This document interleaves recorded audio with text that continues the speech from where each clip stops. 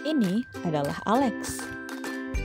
Pada kesempatan ini, Alex akan membahas sesuatu yang menjadi masalah nasional dan hal ini membutuhkan perhatian para orang tua yang memiliki balita, yaitu stunting.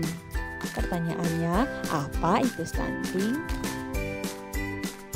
Menurut UNICEF, stunting adalah keadaan pada anak usia 0 sampai 59 bulan yang mengalami keadaan di mana tinggi badannya lebih rendah daripada anak seusianya.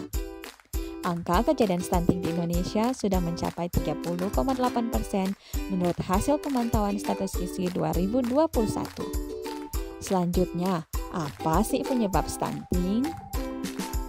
Penyebab stunting terdiri atas penyebab langsung dan penyebab tidak langsung.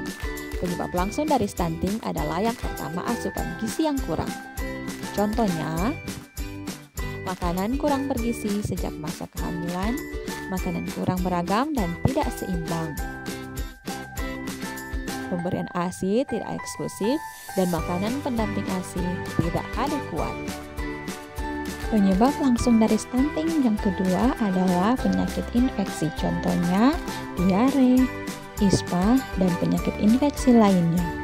Sedangkan penyebab tidak langsung dari stunting adalah faktor ekonomi keluarga, keterbatasan layanan kesehatan, dan kurangnya akses air bersih dan sanitasi. Bagaimana mengetahui ciri anak stunting? Wajah anak tampak lebih muda dari usianya, pertumbuhan tulang terhambat, kurang perhatian atau fokus, dan pertumbuhan gigit terlambat. Apa yang diakibatkan oleh stunting? Akibat dari stunting terbagi atas akibat jangka pendek dan akibat jangka panjang. Akibat jangka pendek dari stunting adalah menurunnya kekebalan tubuh, gangguan metabolisme tubuh, dan perkembangan kognitif, motorik, dan verbal tidak adekuat.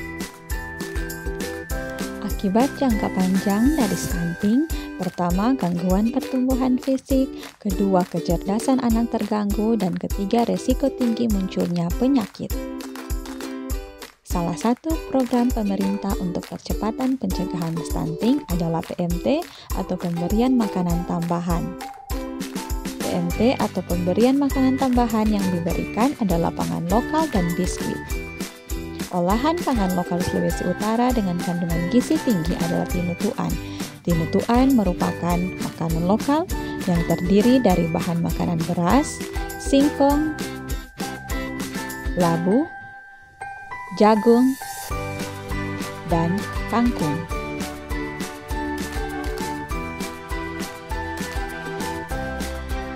Kandungan vitamin terbanyak dalam tinutuan adalah vitamin A Penutuan dapat dijadikan makanan pendamping ASI dengan gizi yang maksimal.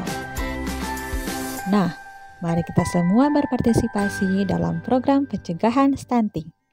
Ayo cegah stunting.